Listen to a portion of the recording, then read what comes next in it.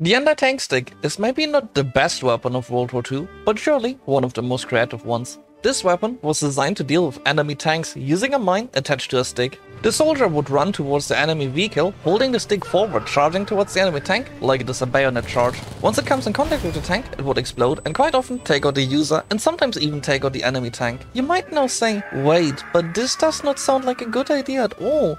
And dear viewer, you would be absolutely correct. Not to mention that its effectiveness too is very questionable at best. While talking about it may be funny, using it surely is not.